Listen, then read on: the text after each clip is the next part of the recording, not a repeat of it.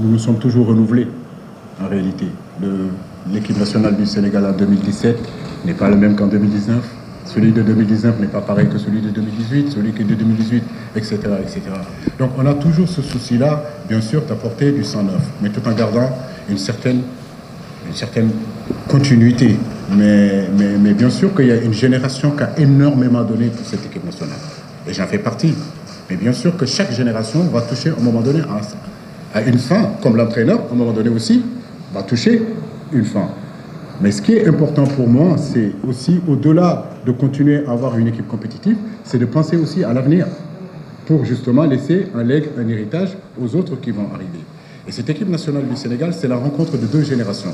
Une génération, comme tu le dis, qui est en l'air, qui, va, qui touche à sa fin, et il y a une nouvelle génération qui est en train d'arriver. Cette nouvelle génération-là, ce sont les Habib les Pape Matarsar, les, les Lamine Camara, les, les Liman Diaye, pour ne citer que. Aujourd'hui, il y a un garçon comme Aladi Malik Diouf, qui fait de très très bonnes choses, qui fait partie de cette génération-là. Donc on a à cœur aujourd'hui, si vous voulez, à la rencontre de ces deux générations-là, bah, faire en sorte que le leg qu'on va laisser pour les prochains qui vont arriver bah, continue. En fait, c'est ça la politique en fait. Avant qu'on donne la parole à Al-Khaïri, les photographes, s'il vous plaît, vous pouvez arrêter vos rafales. C'est-à-dire, une interférence. Oui, Al-Khaïri.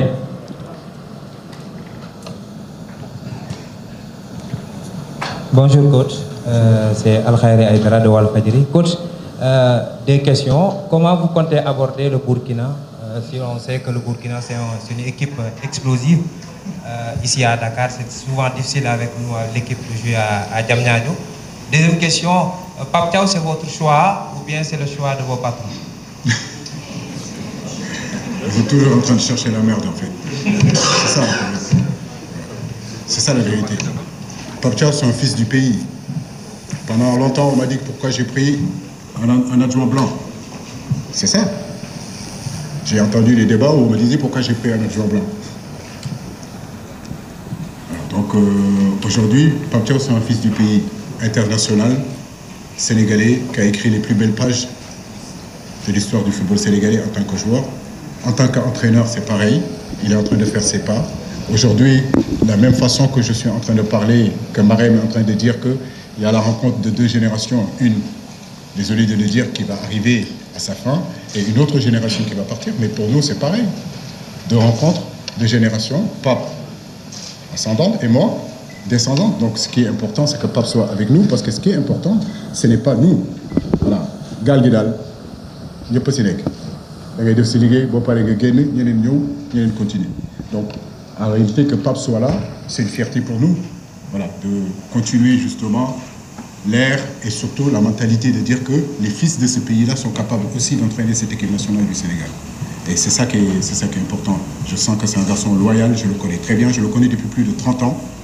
Voilà, donc euh, pour moi, il a la compétence pour être à ce poste-là et il le mérite, tout simplement.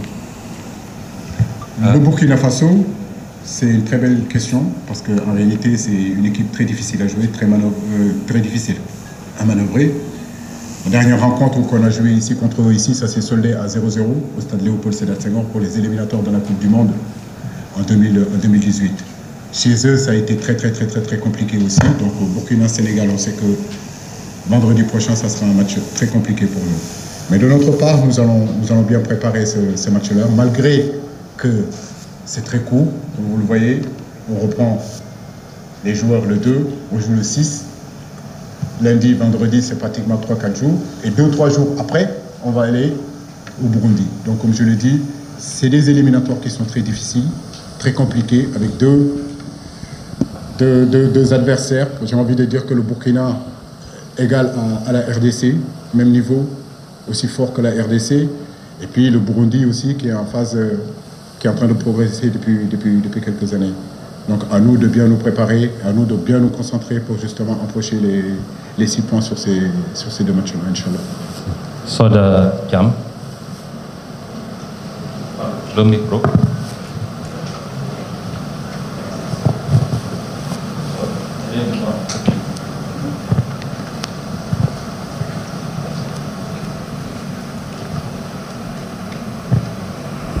Bonjour coach. Euh, pratiquement, je vais dans le même sens que Al-Khairi concernant le On sait tous... Euh,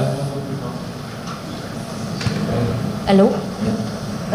On, sait tous ce qui s'est passé lors de votre dernière rencontre lors de la Cannes 2022, en demi-finale, une victoire du Sénégal.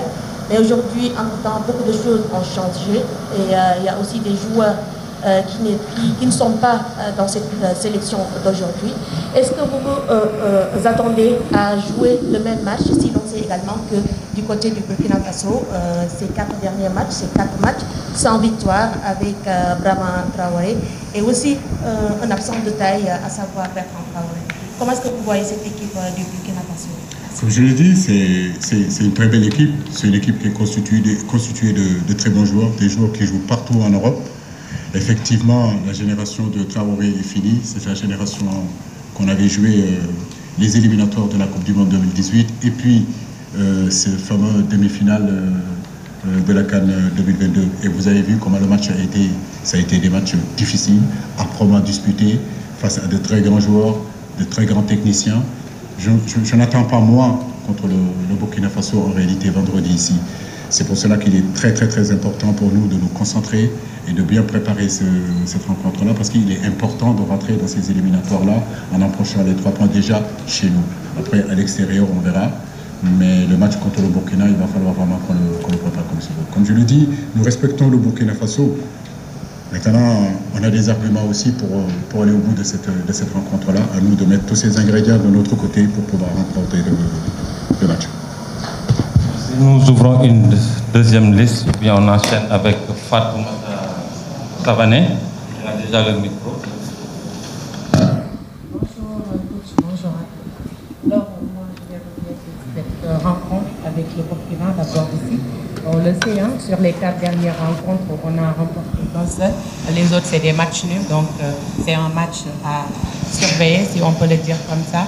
Alors, comment est-ce que vous vous organisez par rapport surtout à l'attaque et la seconde, c'est, euh, on a vu ces temps-ci qu'on prend des buts à la fin de la rencontre.